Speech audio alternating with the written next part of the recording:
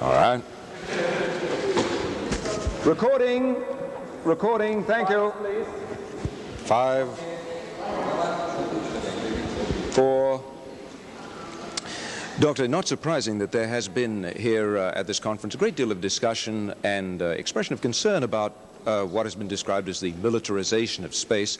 Uh, another phrase that has crept up here is the weaponization of space. Uh, you've studied this very closely, written at length on this subject. Do you draw an important distinction between these two concepts? Yes, I think I do. The reason is that uh, the need for weapons comes from something.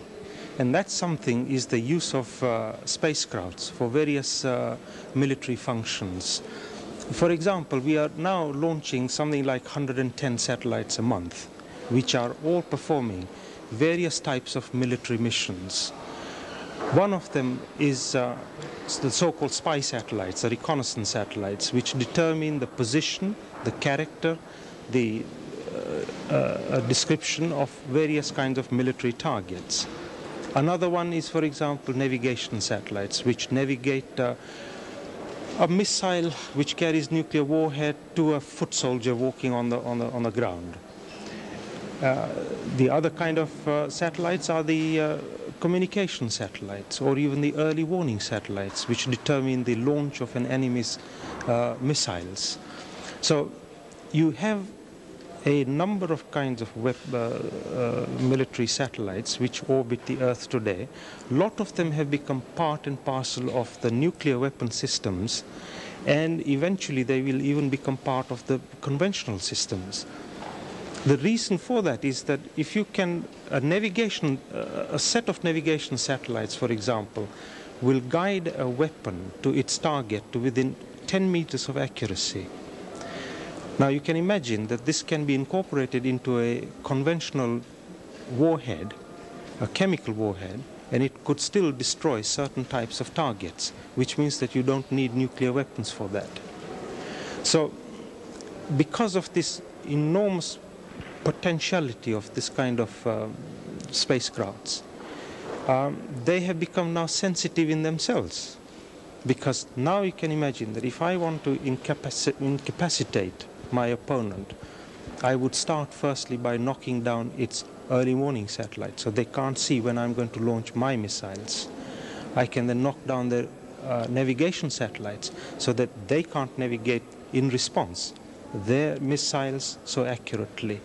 I can knock down their reconnaissance satellites so they have no idea where I've hit them and they can't look at my targets. So, and I can then finally knock down the communication systems. Now, because I can do all that, now I can think about how can I do it, what kind of weapons, and hence you have the weaponization of outer space. What do you see as the solution to this? Do you think that space technology has within it uh, some means whereby these problems can be uh, short-circuited in some way? For example, there has been talk here of something that Arthur C. Clarke is calling the PeaceSat, uh, an Earth observation satellite either in association with between the United States and the Soviet Union or through the United Nations that would be able to observe the Earth and thus in some way uh, keep a very close watch on all disarmament treaties both on the Earth and in space.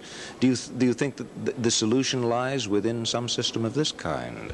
Well, it certainly is a beginning of that because once you are beginning to internationalize, ask other people to participate in the whole process of arms control and disarmament, obviously that is a good thing. And certainly space technology offers a great potential because after all, between the two powers, the US and the Soviet Union, it is the reconnaissance satellite, it is the early warning satellite which have stabilized the relationship between them. They know each other, they know what they're doing precisely. Therefore, there is no element of surprise. And that has tended to stabilize the, the relationship, uh, the, the balance of power between the two. Now, if one can extend that idea to other nations, then obviously it's a very positive thing. However, there are difficulties with that. There are a lot of political issues to be tackled before one can really start to consider these things. Uh, and you, you may well be aware that the Soviet Union and the US are not prepared to participate at this moment in time. uh, to work on such an idea. But we have been proposing a different kind of thing. In, at my institute, we have suggested that maybe you can start with a regional thing, a regional, maybe multinational uh, collaboration. On a regional basis, one can imagine that there are negotiations uh, in Geneva on some kind of European arms control agreement.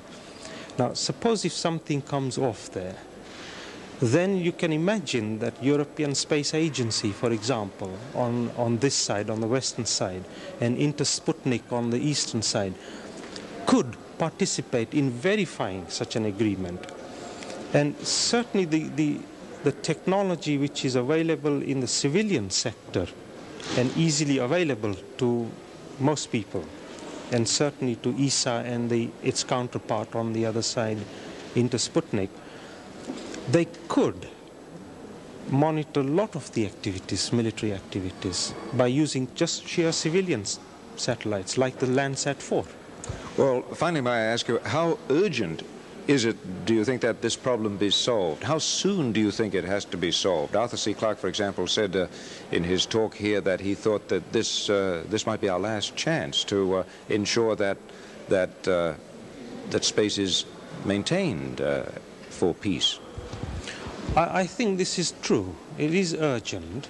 Uh, before even most of these military satellites become really operational and part and parcel of the nuclear weapon systems because once they have become entrenched into the whole uh, weapon, uh, the missiles and the submarines and so on, it would be very difficult to disentangle them. I, I reckon that even it, today it is hard. Um, and to my way of thinking, the fundamental thing is to dismantle the military satellites. However, that may take little time in order to get people to understand and accept the ideas. But before that happens, it is very urgent that the two powers at least sit down and work out some kind of anti-satellite treaty. Because otherwise, if one power or the other power has the capability of knocking down satellites, then that's going to really have a very destabilizing situation. Doctor, thank you very much for talking with us. Thank you.